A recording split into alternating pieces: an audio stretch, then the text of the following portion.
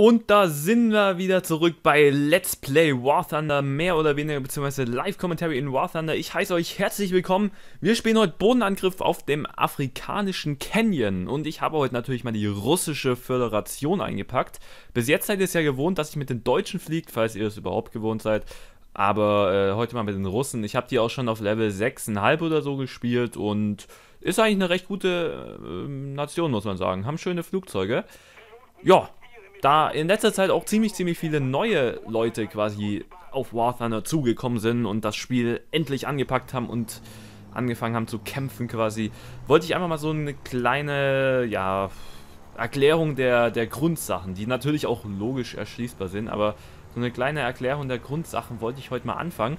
Ich will gerne anfangen natürlich erstmal, welches Flugzeug wählt man aus? Ähm, klingt vielleicht ein bisschen lächerlich, wir haben äh, perfekte Wetterbedingungen natürlich erwischt. Klingt vielleicht ein bisschen lächerlich, aber da sollte man echt aufpassen. Na, natürlich, ja, nö, das, das, Flugzeug, was auf Platz 1 ist, das, das nehme ich als erstes. Ne? Auf der Map ist es natürlich jetzt schlecht zu zeigen, weil das eben viele Berge sind. Aber man nimmt nun mal nicht das Flugzeug, also nicht unbedingt das Flugzeug, was man gleich auf dem ersten, ich sage mal, Hangarplatz hat, sondern man nimmt erstmal das langsamste Flugzeug. Zumindest meiner Meinung nach. Denn wenn man ziemlich früh spawnt oder wenn man überhaupt spawnt, ist es natürlich so, dass man mit einem schnellen Flugzeug, das ganz schön Beschleunigung hat, relativ schnell oder auch aus erster in die Gegnermenge reinkommt. Das sollte man natürlich vermeiden. Man sollte erstmal die Leute vorschicken, die denken, ah, YOLO, Na, ihr kennt ja die Leute hier in War Thunder, die einfach in andere reinfliegen. Oder einfach mal die, die viel, viel mehr Erfahrung mit diesem Spiel haben und da ihr Flugzeug schon so gut beherrschen, dass sie auch in Gegnermengen quasi... Na los, dich kriege ich jetzt, Alter wurde getroffen, dass sie quasi auch in Gegnermengen sich gut navigieren können. Boah. Was ein Fail. Äh, und ich bin nicht einer davon, das muss ich ganz ehrlich sagen. Wenn ich viele Gegner um mich rum habe, dann komme ich schnell durcheinander und dann kann es auch mal kommen, dass ich hin und wieder in den Berg reinfliege. Gerade ist es sowieso so, wenn ich live kommentiere, könnte das auch mal öfters passieren, dass ich in den Berg reinfliege. Weil man halt einfach nicht so voll konzentriert ist. Und ja, wie gesagt, erstmal ein langsames Flugzeug nehmen, danach könnt ihr ein schnelles mit viel Durchschlagskraft nehmen, falls es das überhaupt gibt in eurem Level. Oder ihr nehmt gleich ein langsames, zum Beispiel die IL-2 würde ich bei den Russen empfehlen, ein langsames mit viel Durchschlagskraft. Ich habe es jetzt gerade nicht genommen, um einfach mal kurz ein äh, bisschen wie der Jak 7 zu spielen. Ich bin noch relativ spät gespawnt, weil ich ja noch das Intro gemacht habe. Und das hier ist die Sache, worauf ich euch, also worauf ich heute auch zukommen will. Hat jetzt perfekt gepasst mit der Überleitung. Ja, ich bin einfach Gott, ne? Ne, Quatsch. Und zwar Frontalgefechte. Frontalgefechte ist das, was ihr gerade gesehen habt. Zwei Flugzeuge, ungefähr gleichen Levels oder wie auch immer, äh, fliegen aufeinander zu. Man sieht es hier schon wieder. Es passiert also ziemlich, ziemlich oft in War Thunder. Und ich wollte euch einmal mal erklären, wie sollte man sich verhalten, um möglichst spät zu sterben in so einem Gefecht. Natürlich erstmal die Option Höhe. Also erstmal ausmachen, denken, aha, er kommt von oben, ich komme von unten oder ich komme von oben, er kommt von unten. Was ist denn jetzt so die beste Möglichkeit? Wie sollte ich mich verhalten? Natürlich, wenn ihr von oben kommt und er von unten, habt ihr natürlich mal den Höhenvorteil. Der Höhenvorteil ist eine sehr, sehr wichtige Sache in War Thunder. Klingt natürlich auch logisch, denn wenn ihr frontal von oben auf einen zufliegt, habt ihr es viel, viel einfacher, die Kabine zu treffen. Ihr seht hier oben, das Glas ist einfach viel breiter, als wenn ihr von hier oder so angreift. Da habt ihr keine Chance, die Kabine zu treffen.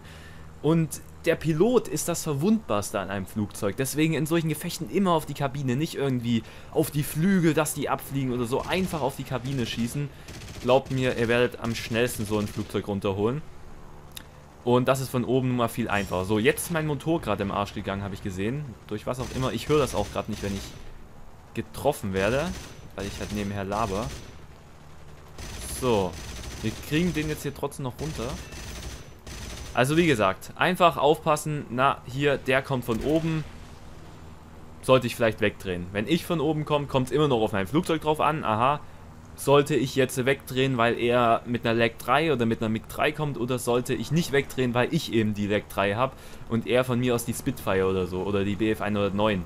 Äh, ja, da muss man halt auch wieder unterscheiden. Generell, auf welches Flugzeug man geht, das sage ich aber nachher noch, da komme ich noch nachher noch dazu, äh, sollte man aufpassen, wie man sich in den einzelnen Gefechten auch verhält. So, schaffe ich die hier runter? Das Problem ist, ich bin relativ unwendig und habe nur noch wenig Munition, weil einfach mal mein Motor krass am Arsch ist. Na? Na komm schon, ich rede gleich weiter. Okay, das wird nichts. Gut, also wie gesagt, einfach unterscheiden. von wo kommt er. Wenn ihr auf gleicher Höhe kommt, was natürlich auch möglich sein kann, äh, dann müsst ihr wirklich ausschließlich aufs Flugzeug gucken oder eben auf eure Kompetenzen vertrauen. Was allerdings das Allerwichtigste ist, auch gerade wenn ihr von gleicher Höhe kommt, äh, fliegt nie zu weit auf den Gegner zu. Wenn der Gegner halt nah genug an euch, also zu nah an euch rankommt und ihr würdet ihn vielleicht runterholen, weil er nur noch 200 Meter entfernt ist, dann zieht runter, am besten runter, hoch ist da etwas weniger gut. Äh, zieht runter und lasst den über euch hinausfliegen. Vielleicht habt ihr ihn ja schon so angehittet, dass er hinter dem Berg hinter euch fliegt. Wer weiß, aber riskiert es nicht, das Gegnerflugzeug runterzuholen und dann in sein Frack reinzufliegen. Leute, dreht wirklich rechtzeitig weg oder dreht nach unten oder was auch immer. Äh, es ist einfach sinnlos. Es ist einfach nur äh, sinnlos, geradewegs in das Frack reinzufliegen und glaubt mir, das regt auch ziemlich auf, wenn man dann das Flugzeug runtergeholt hat und deswegen seine IL-2 geschrottet hat. Ja, ich versuche jetzt auch nochmal so ein paar Frontalgefechte zu, äh, zu, zu provozieren, dass ich quasi ein bisschen Stoff dafür habe. Hier zum Beispiel eine Pewfighter, würde ich euch nicht unbedingt für sowas empfehlen. P40 dann wohl eher, obwohl die jetzt gerade von mir wegfliegt. Hier zum Beispiel. Da, das war Fail. Mann, jetzt wollte ich den so ganz cool mit Raketen runterholen. Ja, äh, wenn natürlich sowas Großes auf euch zukommt, dann natürlich äh, Raketen bevorzugen, falls ihr Raketen habt. Gerade die ist ja auch auf mich zugekommen. Hier. Ah, jetzt hab ich's. Sitz. Da natürlich dann die Raketen bevorzugen. Wenn ihr welche habt. Gut, ähm, dann. Was kann ich denn noch dazu sagen? Ja, genau. Generell zum Angreifen, nicht nur für solche Gefechte. Generell zum Angreifen unterscheidet welches Flugzeug? MiG-3? Okay, Könnt ihr für mich aus angreifen. Äh, dann Viewfighter? Nee. Leute, verhindert es. Verhindert es ja, an einer Viewfighter so nah ranzukommen, dass er euch abschießen kann. Eine Viewfighter ist... So. Eine Viewfighter ist ein, eines der stärksten, wenn nicht sogar das stärkste Flugzeug. Okay, das, endet im Wahnsinn. Hier, was ich gerade mache. Ach du Scheiße. Äh, eine Viewfighter ist das, das stärkste Flugzeug im Spiel meiner Meinung nach, zumindest in den Leveln. Und da solltet ihr echt äh, aufhören, euch damit anzulegen. Übrigens, ich bin äh, ziemlich gefickt, dass ich das mal sagen darf. Ich wurde jetzt von zwei Flugzeugen total auseinandergenommen. Naja, immerhin äh, zwei Flugzeuge damit runtergeholt. Äh, also wie gesagt, verhindert äh, an, an, starke Flugzeuge, was ich euch auch nicht empfehlen würde, an der IL-2, besonders nicht von vorne ranzufliegen. JU-87 unbedingt nicht von vorne ranfliegen, um Gottes Willen, nein, macht das nicht.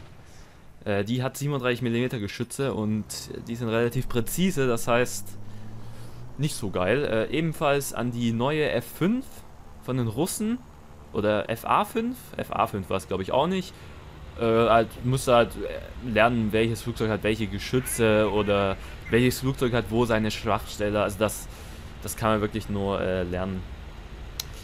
Ich wollte einfach mal die Frontalgefechte jetzt am Anfang auch ansprechen, weil sie eben sehr, sehr häufig passieren und weil sie äh, öfters mal im Verhängnis enden. Na gut, das aber so viel dazu. Ich werde mich jetzt noch mit der hier auf die Viewfighter machen, um einfach mal zu zeigen, dass ihr eine Viewfighter nicht angreifen solltet. Und dann werde ich dieses Commentary auch schon wieder beenden. Auch wenn die Runde noch nicht zu Ende ist. Aber ich werde es beenden, weil die Runde sonst zu lang wird, dieses Commentary. Ich hoffe, ihr habt viel draus gelernt. Ich hoffe, die Viewfighter wird mich jetzt auch angreifen. Na, sieht nicht so aus. Ich habe mich gut hinter sie gesetzt. Ah, jetzt habe ich mich jetzt habe ich mich vor sie gesetzt. Jetzt schaut mal, wenn die auf mich schießt. Was sie jetzt natürlich nicht tut, weil sie da rechts weiterfliegt. Ach, na toll. Jetzt habe ich mich hier umsonst geopfert. Ich wollte eigentlich zeigen, wie stark die Viewfighter ist. Jetzt habe ich mich total umsonst hier fast geopfert. Mensch, Leute. Was man nicht so alles tut, ne? Okay, ich versuch's jetzt. Na gut, war leider nichts. Na gut, äh, dann würde ich sagen, verabschiede ich mich einfach. Ich werde jetzt hier noch meine letzte, mein, mein schlechtestes Flugzeug, meine Elect 366 verspielen. Und die extrem geil aussehende MiG-3 übrigens noch, kann ich euch noch ganz kurz zeigen. Die sieht echt extrem geil aus. Ich hoffe, ihr konntet was hier ein bisschen raus lernen, auch wenn ich meine Gedanken nicht so ganz ordnen konnte. Schaut euch das Biest an. Geil, ne? Wie gesagt, dann verabschiede ich mich. Ciao, bis zum nächsten Mal.